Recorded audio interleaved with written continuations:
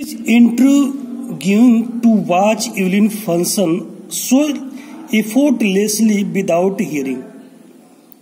That girl was unable to hear anything, but she has been taken a lot of sense to think about anything.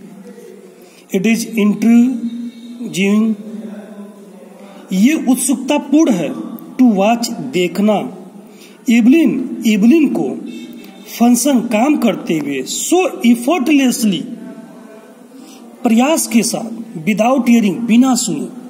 वो लड़की बिना सुने कोई भी काम को करने में पूरा सक्षम थी। इन आवर टू आवर हमारे दो घंटों के डिस्कशन में she never missed a word वह एक भी शब्द छोड़ी नहीं। मतलब हर शब्द को वो सुनी। मेन आदमी विथ बुसी बियर्ड झाड़ीदार, दाढ़ी वाले गिव मी ट्रबल मुझे परेशानी देते हैं। सी वह लाफ्ड, हँसी। It is not just watching the lips यह केवल होठों को देखना ही नहीं है। It is the whole face पूरा चेहरा देखना है स्पेशली द आईज खासतौर पे आँखों को। सी स्पीक्स वह बोलती है फ्लॉलेसली बिना दोष के with a Scottish tilt Scottish भाषा। माई स्पीच मेरी बातें इस क्लियर स्पष्ट है बिकॉज़ क्योंकि आई कुड हियर मैं सुन सकती, मैं सुन सकता टिल आई वॉज़ इलेवन जब मैं ग्यारह वर्ष की थी। वो लड़की कह रही है कि मेरी बातें एकदम बिल्कुल स्पष्ट है। जब मैं ग्यारह वर्ष की थी तो मैं हर एक बात को सुन लेती थी। सी सेज वह कहती है बट लेकिन दैट डजेंट एक्सप्लेन वह व्याख्या नहीं करती है हाउ कि कैसे सी मैनेज्ड उसने अपने आप को व्यवस्थित किया टू लर्न फ्रेंच फ्रेंच को सीखने में एंड मास्टर बेसिक जैपनीज और साधारण जैपनीज भाषा को सीखने में कैसे अपने आप को व्यवस्थित की, वो इसके बारे में नहीं बताती। एज फॉर म्यूज़िक जहाँ तक संगीत की बात है सी एक्सप्लेन वह बताती है इट पोर्स ये प्रवेश करती है इन थ्रू एवरी पार्ट प्रत्येक हिस्से में आप माई बॉडी मेरे शरीर के। वो कार्य की संगीत तो मेरे रोम, रोमे में बसी है। इट टिल्स यह झंझना देती है। इन द स्किन त्वचा में माई चिक बोन्स मेरे गाल के हड्डियों में and even in my hair और मेरे बालों को भी।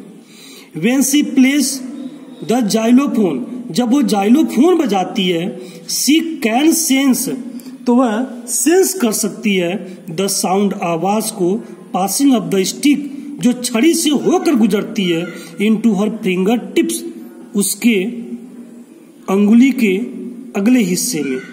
बाइलिनिंग झुकते हुए अगेंस्ट द ड्रम ड्रम के ड्रम की तरफ़ झुकते हुए सी कैन फील वह महसूस कर सकती है। द रिसोनेंसेज एक प्रकार की गुंजन flowing into her body जो उसके शरीर में प्रवेश कर रही है।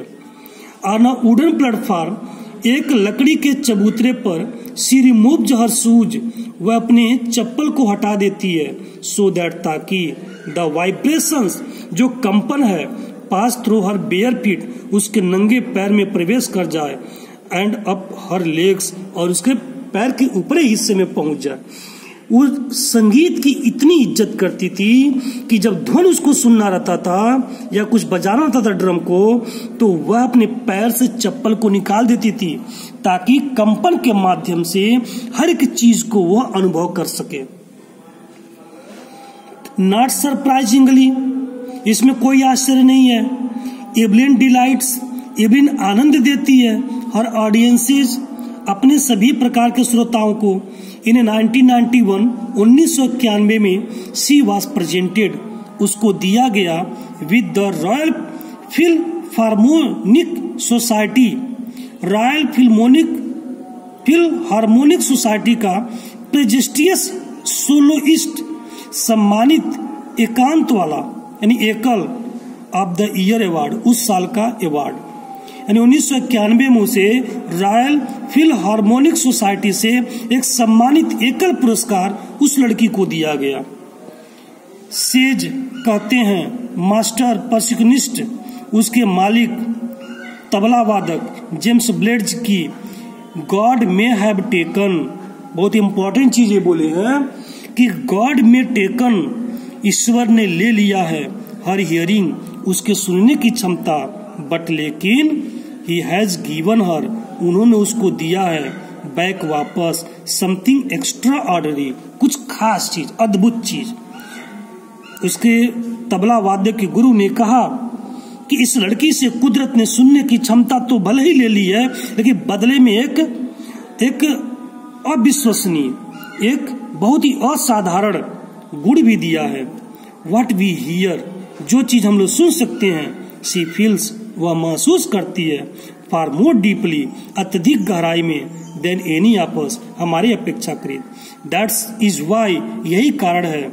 सी एक्सप्रेसेज वह व्यक्त करती है, संगीत को सो ब्यूटीफुली इतने सुंदर तरीके से।